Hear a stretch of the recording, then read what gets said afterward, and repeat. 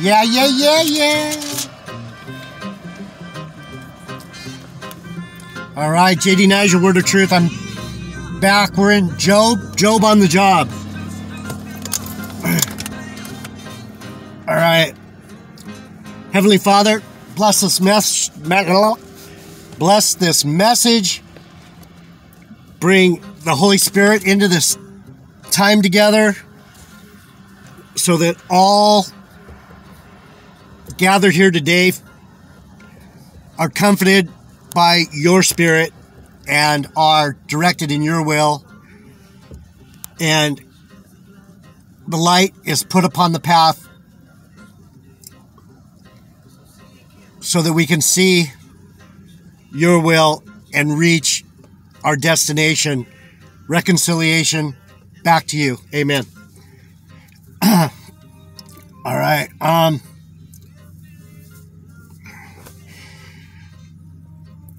um, which one did I like? Uh, so basically, all these guys are just keep saying, "Oh, God is aw- awesome," and um, the wicked suck, right?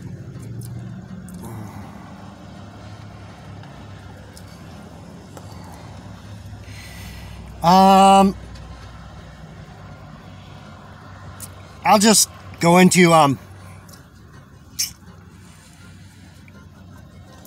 This is this is um Job accused of wickedness, right? And this is um this is what the devil does, and this is Eliphaz the Temanite, who is a um he's a Edomite. He's uh, uh he's one of the the children of the wicked, and um, what he's doing is trying to muddy the waters and confuse things. So we'll go through this and see what we find. Um, it is Job chapter 22, verse 1. And then Eliphaz, the Temanite, answered Job and said, Can a man be profitable unto Yahweh power, as he that is wise may be profitable unto himself? So he's saying, so who's so who's more profitable? The man that's taking care of himself or the man who is allowing the Lord to take care of him? And then he says, Is it any pleasure to the Almighty that thou art righteous? Flakia, or is it gain to him that thou makest thy ways perfect? Will he reprove thee for fear of thee? Will he enter into thee into judgment? Is not your wickedness great and your iniquity infinite? So he's saying, dude, you're no better than anyone else. Who are you to be claiming that the God has your back, but he's gonna mess everyone else up? This is this is the argument of the of the Edomites. This is the other nations. They're quick to um to judge, but they have no wisdom. Um, is not your wickedness great, and your iniquities infinite? What's your point, Eliphaz? Prick. For you have taken a pledge from thy brother for naught and stripped the naked of their clothing. So he's going, finger pointer, finger pointer, right? Instead of going, Job, God loves you. I love you. Everything's going to be cool. No, he's going, dude, who the fuck are you? You're going to have to take your punishment just like everyone else. He doesn't get it. He doesn't understand that there's different children on the earth children of the Lord and children of the devil. And he's a child of the devil, and his understanding is, woo, not there. He don't get it. He just don't get it. Um, verse 6 of 22, Job on the job. For thou hast, for you have taken a pledge from thy brother. He's saying, you've done the same shit that we've all done. We've you've stolen, you've you've lied, blah blah blah. Verse 7 Thou hast not given water to the weary to drink, and you have withholding bread from the hungry. But as for the mighty man, he had the earth, and the honorable man dwelt in it.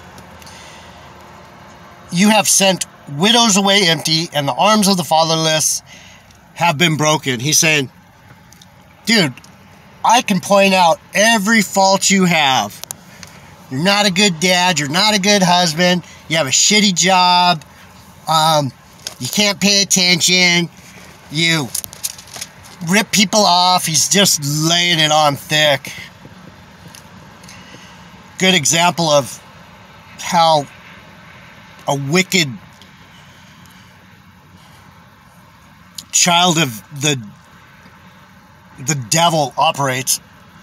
Um,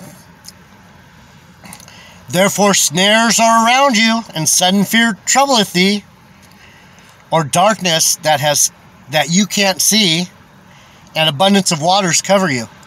He's saying, if you would just realize you're a you're a wicked dude, Job, if you would just realize you're a piece of shit, you would know why you're getting treated like this. He's totally off base, doesn't understand what's going on, no no wisdom at all. Is not Yahweh power in the height of heaven, and behold the height of the stars? How high are they, Job? And you say, how does God know? Can he judge through the dark cloud? Thick clouds are a covering to him, and he seeth not, and he walketh in the circuit of heaven. Hast thou marked, hast thou marked the old way which wicked men have trodden? What? You're you're you're drawing the map now, Job? So you're the you're the one that's going to tell everyone which, which way to go, dude? Really? Call just totally mocking him. Um, the are you saying which way wicked men have trodden, which were cut down out of time, whose foundation was overflown with a flood? So he's saying the, the Lord's going to do whatever he wants, and he's right there. Which said unto God, Depart from us, and what can the Almighty do for them? Yet he filled their houses with good things, but the counsel of the wicked is far from me. So he's claiming he's all good, but he's pointing the finger at everyone else. The righteous see it and are glad, and the innocent laugh them to scorn. That's us kind of laughing at them because they don't even understand how slippery their paths are. Their foot is about ready to slip and they're um, already in pre-stumble and they're still talking shit. Whereas our substance is not cut down, but the remnant of them the fire consumeth. Acquaint now thyself with him and be at peace. Thereby good shall come unto you. And that's what I was just saying. He's saying, dude, yeah, you're just going to have to change your attitude. You got an attitude problem, Job. Is that what is that what um, Esau Edom does in his court system and in his police departments and every everywhere you go, if you have a question for this system, it's gonna blame you for their wickedness. And that's what that's what Eliphaz, the Temanite, the Edomite, the wicked prick is doing right here to Job. He's going, I can't hear you. You need to listen to me. And he's so off base. That you shall, if you do what I'm saying, you shall return to the Almighty, and you will be built up, and you will put iniquity far from your tabernacles. Then you shall lay up gold as dust, and the gold of Ophir as the stones of the brook. Yea, the Almighty shall be thy defense, and thou shalt have plenty of silver. And um, that part he has right. Even an Edomite knows that um, the Lord rewards the righteous. Even though Eliphaz doesn't know anything about it, he witnesses he witnesses Job's righteousness and um, in his heart he knows the right way to go, but he has the wrong interpretation mixed up with his own vain imagination. Um, so this is Job arguing back. Um, I, I gotta, I gotta get this. Delight in the Almighty. So this is where Eliphaz gets it right. At the end, he's like, uh, "I guess I've talked enough shit. Let me, let me tell you about the good part that I know." And this is where he changes his tune, and it's pretty beautiful for an Edomite to be saying this. For then shall you have thy delight in the Almighty, and shall lift up your face to the power, Yahweh. Thou shalt make thy prayer unto him, and he shall hear thee, and you shall pay your vows. Thou shalt also decree a thing, and it shall be established upon you, and the light shall shine upon your ways. Hallelujah. When men are cast down, then you shall say, There is lifting up, and he shall save the humble person. So, Eliphaz is like, Yo yo, Mojo yo yo. But this part, he's right. He shall deliver the island of the innocent, and it is delivered by the pureness of thine hands. You. So even a um, even a broken clock is right twice a day, right? Okay, then 23. Job on the job. And Job answered Eliphaz the Temanite and said, verse 2, it reads,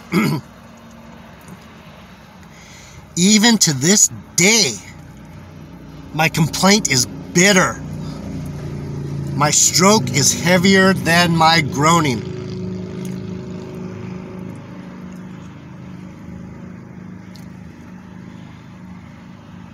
I moan and groan a lot. And the pain behind the groaning is way worse than the groaning that you might hear. And that's what he's saying. Um, and then Job says, I would order my cause before him and fill my mouth with arguments. I would know the words which he would answer me and understand what he would say unto me. So he's saying, it would be nice if I could just argue and get the answers and he would just give them to me. And he does. That's what he's that's that's what's interesting about this is he's saying if I could only argue and, and get him to answer me. He does. When you cry out to him, he hears you. Will he plead against me with his great power? No. But he would put strength in me. So when he reproves us, when he corrects us, when he when he makes us Job on the job and we're busy doing the work, we're not afraid of reproof and correction. We take it with gladness and gratitude because he's actually speaking to us. And that's the difference between the wicked and the righteous. The righteous want to hear the Lord's reproof. The wicked, they think they know everything.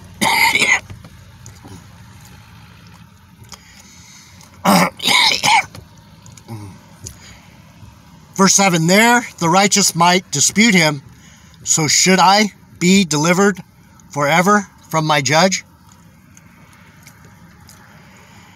Behold, I go forward, but he is not there, and backwards, but I cannot perceive him. On the left hand, where he does work, but I cannot behold him.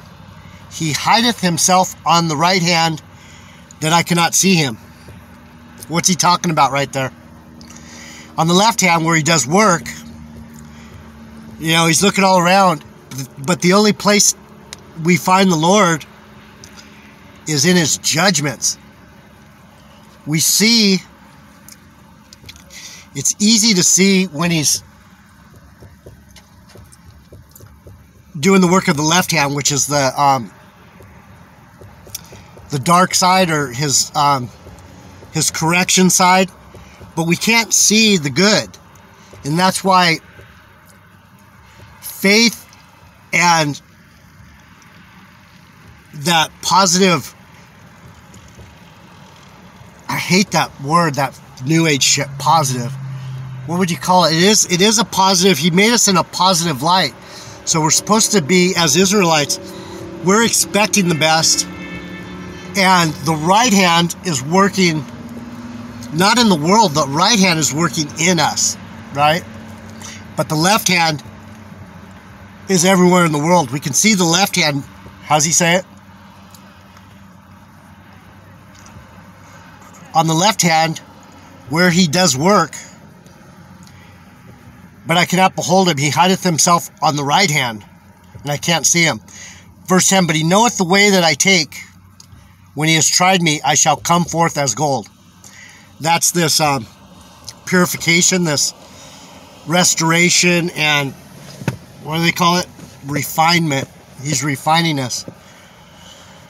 Um, my foot has held his steps, his way have I kept, and not declined. And that's what I was just saying about every moment is a moment that can be um, questioned. Am I in the right place? Is this the right time? Am I facing the right direction? Um, Lord, Lord, where am I going off, right? You're asking for counsel, is what Job's saying. He's all, as long as I keep asking for counsel, it doesn't matter how hard it is, because he's going to set things straight. My foot has held his steps, his way I have kept and not declined. I'm on the path. The road is rocky, but it sure feels good to me. Neither have I gone back from the commandment of his lips. I have esteemed the words of his mouth more than my necessary food. So this bread, this this bread, the sacrifice of putting his body on the cross, that's what feeds us. Give me my daily bread. Give me my daily correction so that tomorrow I walk a little further, a little straighter, and a little more honorable. Neither have I gone back from the commandments of his lips. I have esteemed his words. Verse 13, but he is in one mind. My heart and his heart. Mind is lob. That's heart. So when it talks about you have the heart of God, you have the mind of, of Yahweh power. Um, but he is in one mind, and who can turn him? And what his soul desireth, even that he does. Can you tell him how to um, edit the the story, the play, the movie? Are you going to do a rewrite? I don't think so. For he performeth the thing that is appointed for me,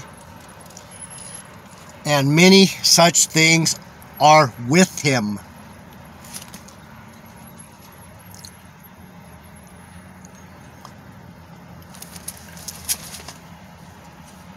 The multitude of the mathematics of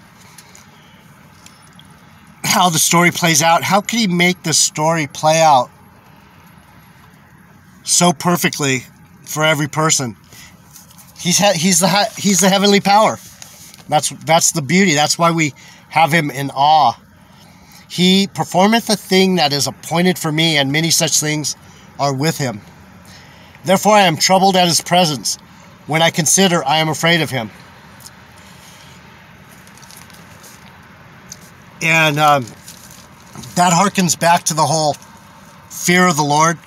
It's not like fear, like, ah, I don't want to see him, I don't want to know him. The, no, the fear of the Lord is um, knowing that you have to get to know him. You have to get to know him. And if you don't get to know him, that's what you should be afraid of. I got to figure out the math. How does all this shit add up? He wants you to, to know his his ways, his math, his formula. Eureka! I got it. Raise your hand. I got the answer. Um, for Yahweh power maketh my heart soft, and the Almighty troubles me, because I was not cut off before the darkness. Neither has he covered the darkness from my face. As I walk through the valley of the shadow of death, I will fear no evil. Here we are in this dark valley, this depressed, oppressed land with armies roundabout.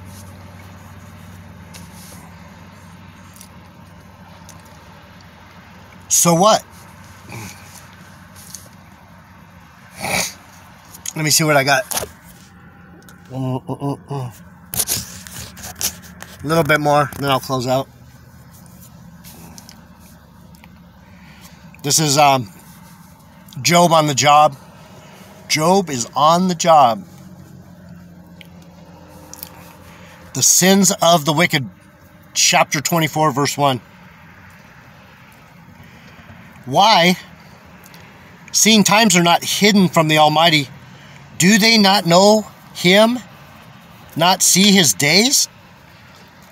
Aren't they, can't they see what's going on? What's going on? Tell me what's going on. Some remove the landmarks. They violently take away flocks and feed thereof. So we're seeing Esau, Edom, the the the Indians aren't even asking for anything, and Esau, Edom's going, "Oh wow, I think we um owe you something." And the American Indians aren't used to um hearing Esau talk like this, and they're like, "What's going on?" So um, they're they, the Lord's putting it on these wicked fuckers to um repent. They're like they're like Eliphaz. They're going, "Well, I might be a shit talker, but I think I know what I should do, even if they can't do it." They remove the landmarks this area right here, this Bolsa Chica, right there where those palm trees are, this whole little thing right here was, um, I'm not sure which Indians, probably Chumash. I forget, but California was decimated by these colonialists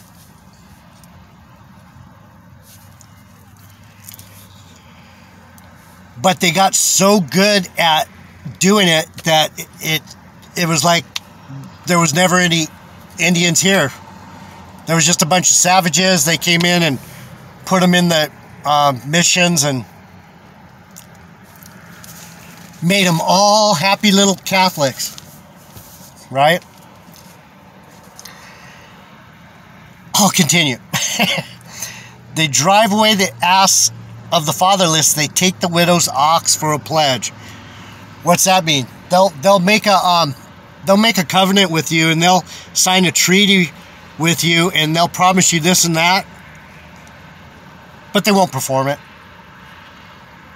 They turn the needy out of the way, the poor of the earth hide themselves together. Behold, as a wild as wild asses in the desert go they forth to their work, rising betimes for a prey, the wilderness yieldeth food for them and for their children. So by um, by lying, cheating, stealing, and murdering, they're rocking the Casbah, rocking the Casbah. They got their they got their game on. They got their game face on, and they just they stand behind all their all their bullshit to this day.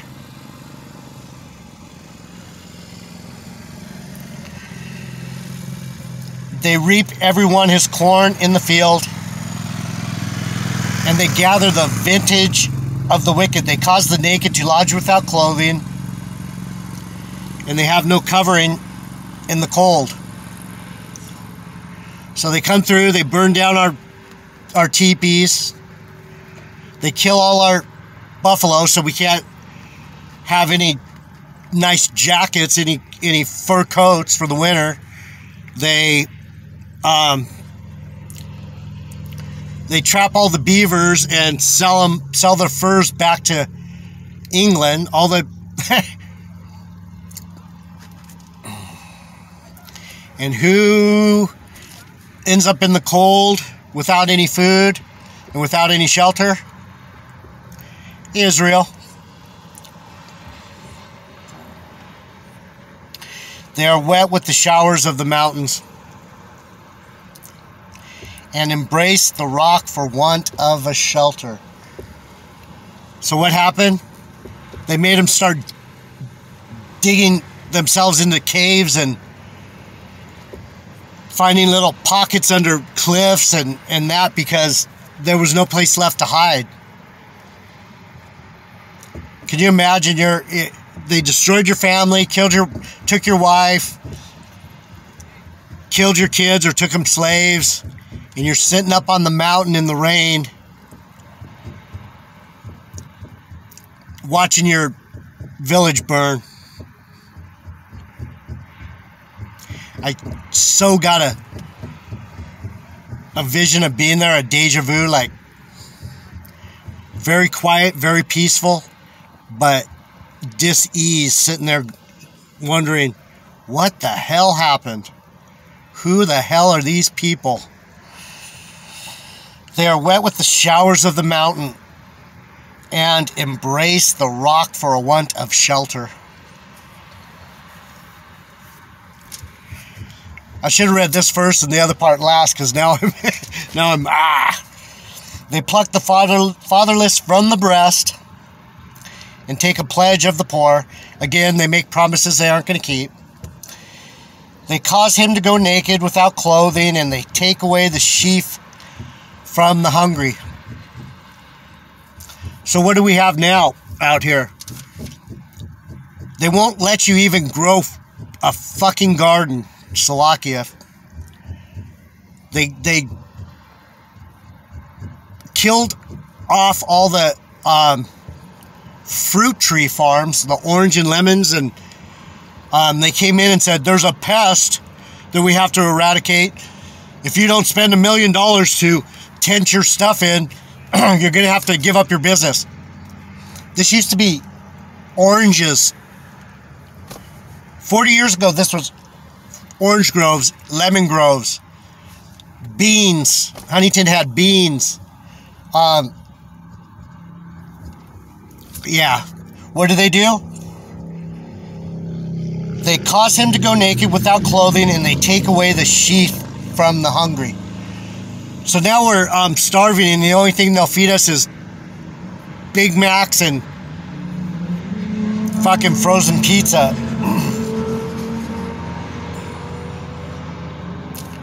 which make which make oil within their wells, which make oil within their walls, and tread their wine presses and suffer thirst. It's a dry land, baby.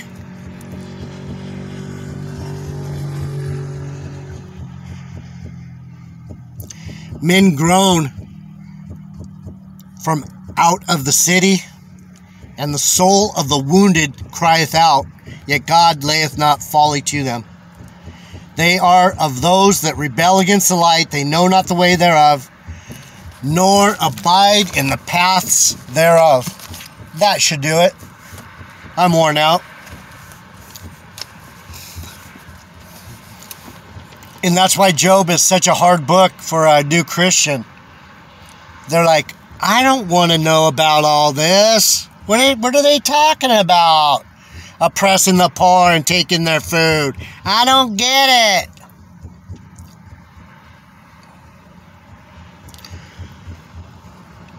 Look around and, and think about it. People just go about their lives worrying about whether they're going to be able to pay their insurance and whether Sally's going to be at the bar tomorrow night and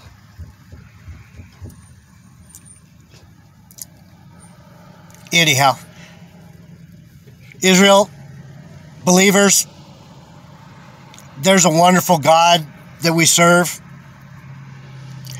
and his ways aren't our ways but to seek him and search him out whether it be good, evil, righteous, iniquity, transgression. Um, he does it all. And to know him is to know all his ways, left hand and right hand. This is Job on the job. I hope you enjoyed the message. If you like the hard truth, Here I am, JDnijah, Word of Truth. Till the next one, Shalom.